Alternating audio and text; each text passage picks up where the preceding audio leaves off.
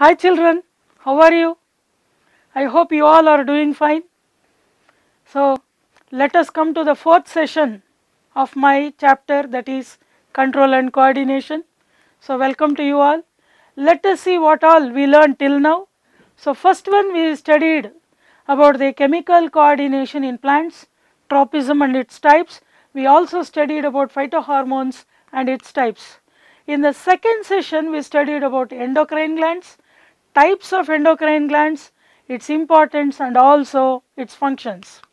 In the third session we studied about nervous system, its types, structure and functions of a neuron and also structure and functions of different parts of central nervous system. And in the next session we will be studying about parts of a spinal cord, structure and function of spinal cord and most important of all revision. So, what are we studying today? So, today we are studying about the parts of the brain, structure and function of the brain and also most important how to draw a brain that is very important. So, welcome back. Today we will study about what we studied in our previous class a bit of revision we can do about that. So, in our previous class we studied about the brain as well as the spinal cord. We studied a few functions of few parts of the brain. You know that this brain and spinal cord come under central nervous system that is CNS. Central nervous system because that is the center of all the messages, impulses, thinking etc. So, that is the central nervous system and the brain is protected by a hard cranium you call it as skull. So, it is protected by skull. Next you can see that the spinal cord is protected by this part that is the vertebral column. So, the vertebral column which is present surrounding the spinal cord it protects the spinal cord. Next inside the skull you find three membranes surrounding the brain. You call them as meninges. They provide nutrition to the brain. So, that is the three membranes. Next along with that we also find in between the skull and the brain among these membranes a fluid will move that you call it as cerebrospinal fluid. It moves from brain to spinal cord and from the spinal cord to the brain. So, it acts as a transport system providing nutrition to these parts. That is why it is called as cerebro means brain, spinal means spinal cord, fluid it is a fluid. This one will provide protection that is it acts as shock absorber. Shock absorber means there should not be any impact on the brain when there is a head injury. This cerebrospinal fluid will act as shock absorber from any minor head injuries. So, it is somewhat protective in nature. Next we will come to the brain. Let us see the different parts of the brain. So, there are three parts actually. First one is called the forebrain. You can see the uppermost part you call it as the forebrain and then you find the lower part that is the hindbrain. There is one more part but you cannot see in this diagram it is inside. So, in the middle you find midbrain. So, there are three major parts forebrain, midbrain and hindbrain. Okay. You can see the brain of different organisms. First you can see the human brain, cat brain, rat brain, see the size also. So, you can see the difference, you can see the dolphin's brain, how huge it is. So, you can compare the size and also the intellect also. So, you can see here what are all present here. Next, you coming to the forebrain, this is the biggest part of the brain. In that what are parts are there, let us see. Forebrain is made up of cerebrum. Cerebrum from starts from here, ends up to here, so it is largest part of the brain. Next below that cerebrum you find diencephalon. So, these two parts are there. So, cerebrum is the largest part of the brain. You can see that nearly 80 percent of the brain is occupied by this cerebrum. Now, let us see what does this cerebrum do. Cerebrum is the major think tank of the brain. It helps in thinking, creating, calculating, memorizing, so many other things, discovering, identifying, inventing, everything is present in this brain. It can receive impulses from various from various surroundings to the brain. It receives messages from the sense organs to the brain and then whenever it is required it is utilized. So, all these are done by the brain.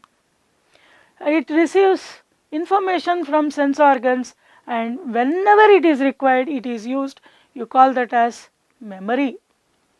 Okay. Now, intellect also is possible mainly because of this cerebrum only. You can see that person blindfolded he is playing the Rubik's cube you can see within few seconds he is capable of forming the same color all the sides he is successful within few seconds see he succeeded. It is all intellect, intelligence, brain source. Now feelings, even the feelings are controlled by the cerebrum, happiness, sadness, anger, revenge, all the feelings are expressed by this mainly because of this cerebrum. Next imagination, you can be in one place but you can imagine so many things Look at that kid. Wonderful imagination, right? Okay. Not only that, it also helps you in common sense, whether we have to do this thing or not to do this thing. Now it is corona time, COVID time, how should we, how should we be? Now there is some, so many people present, should be, should I be with them or should I be away from them? in a public place I have touched so many substances. Should I touch and then just touch my eyes, ears etc. or should I sanitize? Who helps you in that? Common sense, cerebrum. Next is willpower. He is able to lift that. It is mainly because of willpower. Even you can have that willpower, even you have to use that willpower of yours. Yes, even in this crisis, I am able to score more marks I am able to do well in my exam that is willpower. Next let us come to this session's uh, portions. So you understood about the cerebrum. So if you look at cerebrum in a different angle you can see there are two hemispheres one is the left cerebral hemisphere and another one is the right cerebral hemisphere. But you observe that they are not separated there is one small tissue present corpus callosum there connecting left and right cerebral hemispheres both are connected. So what happens is these cerebral hemispheres will be sending messages from one part to another part and from that part to this part. So constantly there will be exchange of impulses taking place continuously. So that is the speciality of these cerebral hemispheres. Next, not only that because of this cerebral hemisphere, you can see that the right side of the body is controlled by left part of the brain. So, right side of the body is controlled by left side of the brain and the left side of the body is controlled by right side of the brain. So, you can see that they are controlling all this. If the person has been attacked by paralysis, he has a stroke like this in the right side. It means that his left part of the brain is affected. So, like that you can conclude that if you are writing with your right hand, the, the activity that helps you to write in the right hand is mainly because of the left side. If the person is a left hander, his right hemisphere will be helping him. So, that is it. Next, we will come to another concept. Now, if you come to diencephalon, you can see that diencephalon, where is it present and This diencephalon has two parts. One is the thalamus and another one is the hypothalamus. Thalamus is the upper portion, hypo means below, below the thalamus it is present that is why you call it as hypothalamus. Below that hypothalamus you find pituitary gland which I have already told you where it is etc. Now if you look at this, now what does this hypothalamus do? It controls several other functions. For example, it maintains body temperature. You all know that we all are homeothermic animals or warm blooded animals. That means our body temperature should remain constant. No matter where you are, whether you are in Himalayas or even in the Thar desert, your body temperature should be the same. In case if it increases, it means you are having fever. So, to maintain that constant body temperature, this hypothalamus will help you out. Not only body temperature, it also helps in osmoregulation or balance of the water. How much water should be in my body that is decided. Next, not only that, the feeling of thirst. Sometimes you feel thirsty, hypothalamus. Then you sweat, hypothalamus. Hunger, feeling of hunger. If you eat two idlis, sometimes if you eat four idlis, your appetite will say enough. Hypothalamus controls that. So, like this, hypothalamus controls so many other things. Next, we will come to midbrain. Midbrain is a small portion present inside the brain below the forebrain. You understood, right? You have seen its position. Now, this midbrain, its main function is it connects the forebrain with the hindbrain. It connects the upper portion of the brain to the lower portion and lower portion of the brain to upper portion. It is something like a relay station. Not only that, it is associated with vision, hearing, motor control and your sleeping, waking up, arousal and also temperature regulation all these are controlled by the midbrain. Wonderful right? I want you to make note of all these things. I have given you simple sentences for you to easily write down and learn them very easily. Next we will see hindbrain. Hindbrain is the lowest part of the brain. Let us see what all are present in hindbrain. One is cerebellum, next is pons and finally you find medulla oblongata. So, these are the three parts. Let us see where these are present. So, if you look at this structure, so that part where it is flickering green in color, you call it as cerebellum. Okay, that is the cerebellum. Next part, you can see a small portion projected bulge like structure that is nothing but the pons. Next, below that you find one small tubular structure starting from that portion you call it as medulla oblongata. So, these three fully comprise our hindbrain. So, please write down children hindbrain consists of cerebellum, pons, medulla oblongata. So, these are the three parts. Now, let us see how do they work. First one is cerebellum. You know that cerebrum is the largest part of the brain, cerebellum is the second largest part of the brain. So, let us see where it is present. So, that portion which I have marked below that you find cerebellum. So, it is below the cerebrum and it is behind this cerebrum. The frontal region from there it is behind. So, you understood the location. Now, what does it do?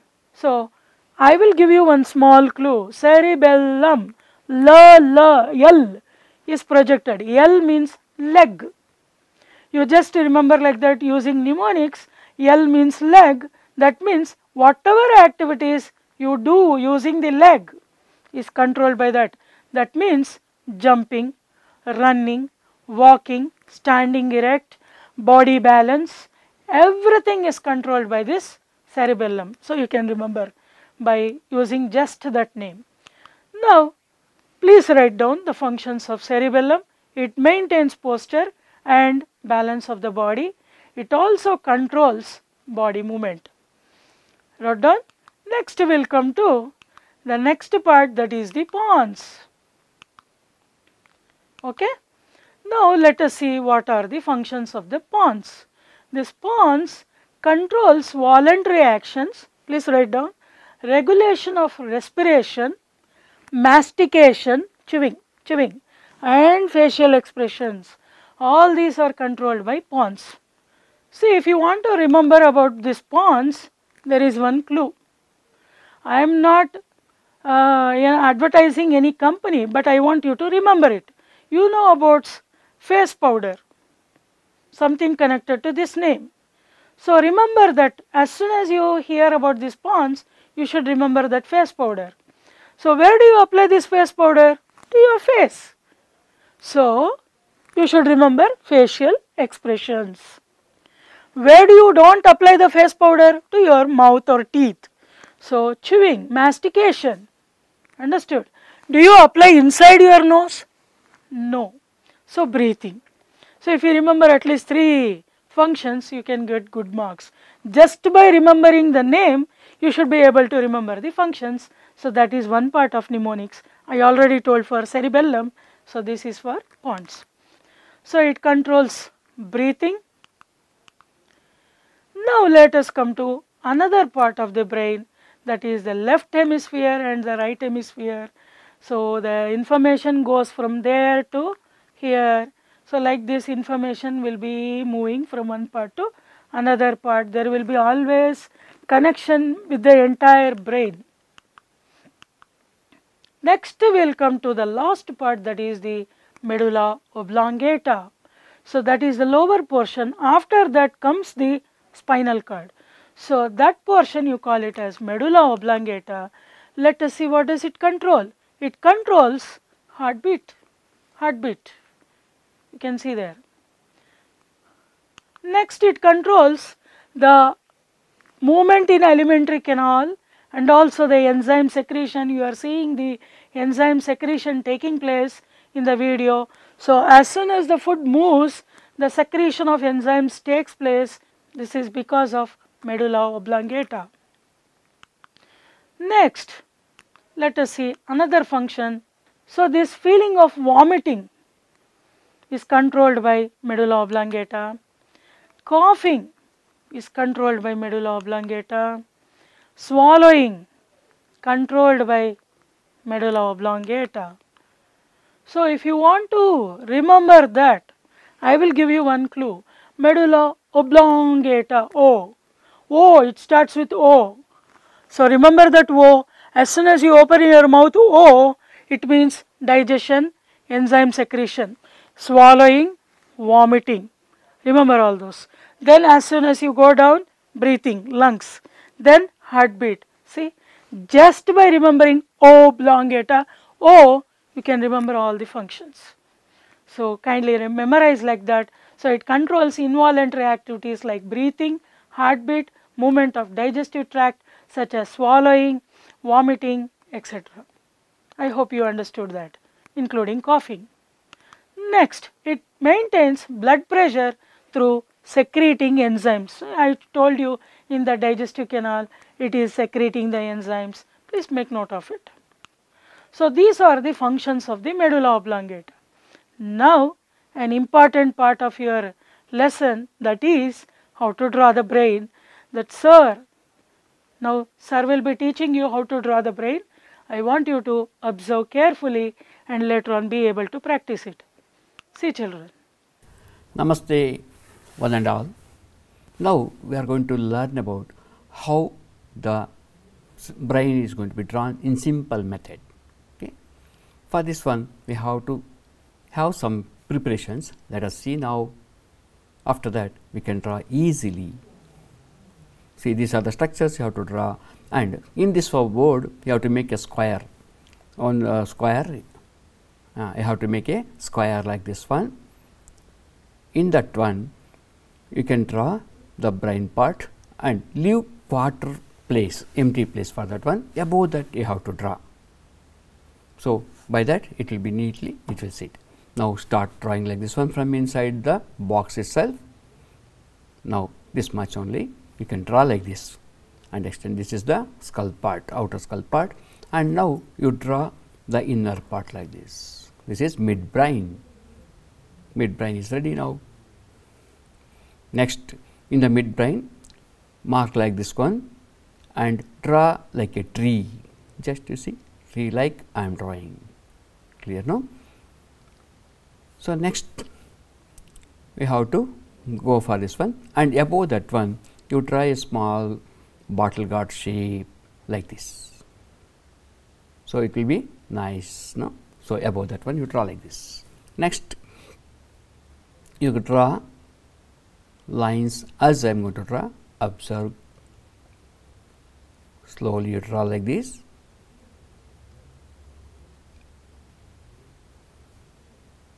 okay from this side also you can draw little bit bend and complete this one. Clear? So as it is you draw. Okay your the back portion of this one ready. Now to the left you draw one small triangle like. So one triangle like you draw triangle structure you have to like this one then join the skull part complete it. Next you have to draw inside the tree part. Let us see what I am drawing. Just do this designs like this. A star shaped one. And extend and make the designs like this. Then complete the outer portion just little small curves you can do. So, it will be very nice. So, it is completed. So, inside that you have to make one more line like this make a circle that is pons. So, this design is completed. Now, let us draw inside parts. For this one, inside parts for this one, you have to draw, draw from here taking the mark like this one. That is nothing but cerebrum you are drawing now. So, make a curves like this one, one 10 curves you can write this. Draw 10 curves like this one. Then complete this with the opposite side also and join this together. Next complete like this. Next take the w bubble shape or structure you have to draw. So that inside that you have to draw draw neatly and maybe 4 or 5 it will fit in that one. Okay. Now, in the curved corners you have to draw birds flying like structures to make it to appear the electrical parts. Okay. Neatly you draw this side and this side and in between you, this also you can extend little bit it looks better. So, like that. And here and there you can put one or two lines like this one inside this bubbles. Yeah, it, uh, it looks as a part and a brain and here you draw one cashew nut, cashew nut shape complete the triangle and draw one cashew nut type in the structures. As well as draw lines, four lines compactly. That means very near to each other draw four lines, two lines nearer and one line like that. That is the meninges what you have to draw. Okay. And this triangle, draw one small cashew nut inside that one. Okay. Now, this part appear, should be appear little bulged one. So, make it little bulging part. Okay. That is called medulla, medulla oblongata started. Now, your brain is ready. Namaste, one and all. So, thank you very much sir for teaching our children how to draw the diagram. So, next we will see some home assignment that is homework to you people. Write down list out the functions of the following. One is cerebrum, cerebellum, midbrain and medulla oblongata. Next question. A person is suffering due to head injury. When examined, his respiratory system was fine. Then, what may be the reason for his problem? Next, draw the diagram of human brain and label the parts. Beside the labels, write the functions of these parts and then practice. Next, it is quiz time. The part of the brain responsible for facial expression is cerebrum, cerebellum, pons, medulla oblongata. Correct answer is pons. Next one, the part of the brain responsible for enzyme secretion during digestion, cerebrum, cerebellum, cerebellum pons, medulla oblongata. Correct answer is medulla oblongata. Next question, the part of the brain responsible for walking erect and body balance. Same options cerebrum, cerebellum, pons and medulla oblongata. Correct answer is cerebellum. Next, the part of the brain responsible for swallowing and vomiting. Same option cerebrum, cerebellum, pons, medulla oblongata. Correct answer is medulla oblongata. One more quiz question here. Here, the teacher is holding a dried papaya leaf from his garden.